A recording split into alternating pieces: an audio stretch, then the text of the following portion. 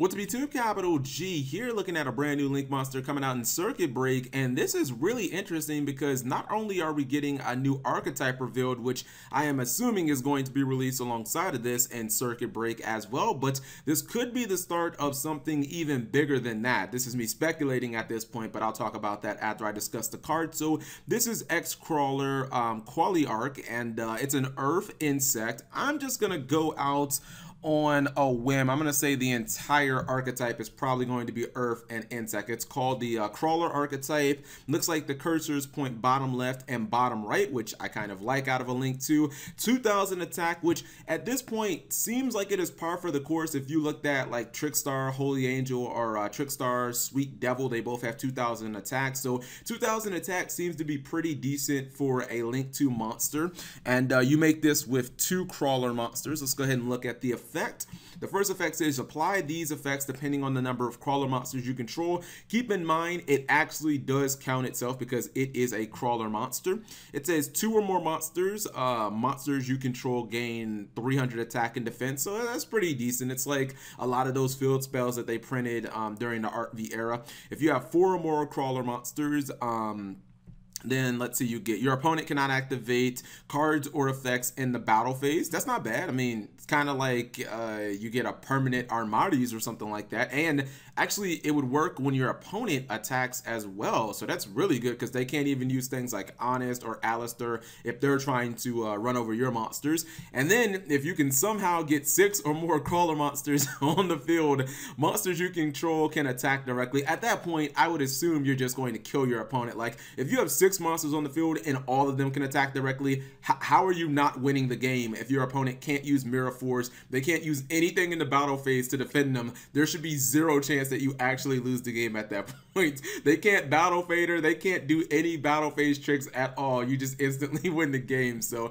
I'm going to assume that if you get six crawler monsters face up on the field, including the Qualiark, uh, you're probably just going to win the game at that point, unless they uh, make it so you don't get into the battle phase. And the face up, uh, excuse me, the second effect, I think is really good as well. I think it's actually probably the most practical of all these effects. It says if this face-up card leaves the field by an opponent's uh, card effect or is destroyed by battle, you can target two crawler monsters with different names in your graveyard, special them, and face down defense position. Now that is interesting because it makes me wonder if maybe the crawler archetype is going to be something like subterrors or if it's going to be like a Shaddolls where they're just like straight up flip effects because why would konami want you to summon monsters back in face down defense position? It's very rare especially multiple monsters. It makes me think that this could be another archetype that revolves around flipping monsters face up and you know putting them back face down or just a bunch of flip effects and stuff like that. So you know i can't really talk about how good i think this card is until we know a little more about the archetype but Here's the very interesting thing about this, right?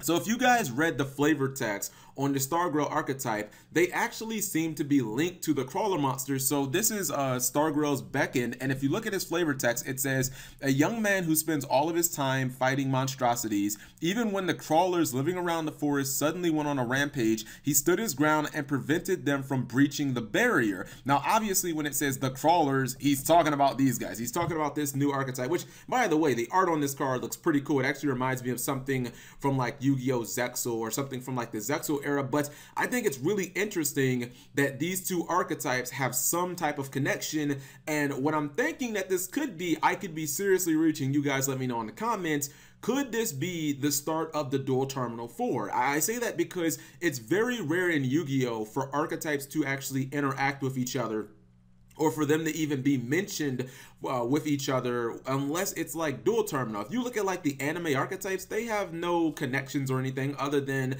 you know, duelists dueling on like the TV show and stuff like that. It's very rare that archetypes will actually intertwine in their stories. I mean, it happens, you know, sometimes, but I know somebody's going to say something in the comment section. They're going to list an example. My point is it doesn't happen very often except the duel terminal storylines where you get like, you know, five, six, seven archetypes and they're all kind of colliding. And we all know that duel terminal Terminal 3 obviously just wrapped up. So if Konami was going to start a Duel Terminal 4 storyline, it probably should start in about Code of the Duelist at the least. It should start in Circuit Break. So maybe the Star Grails are like the heroes of Duel Terminal 4 and you know their storyline interconnects with the uh, the crawler monsters. It just I don't know, man. It seems like it definitely could be a possibility. I guess we'll have to wait for other archetypes to come out and see if some of their stories intertwine and wait for some of their spell cards and stuff like that. But I definitely think that it is a possibility. So whatever you guys think, let me know. Do you guys think that this is the start possibly of the duel terminal storyline, uh, the duel terminal 4, or do you think that it's just a smaller event like, you know, how Amorphages are connected to like True Dracos and stuff like that? Like I know they have a little storyline, but usually archetypes don't connect in any way. Anyways, whatever you guys think, leave it in the comment section below. Thank you guys for watching. As always, subscribe if you have not already.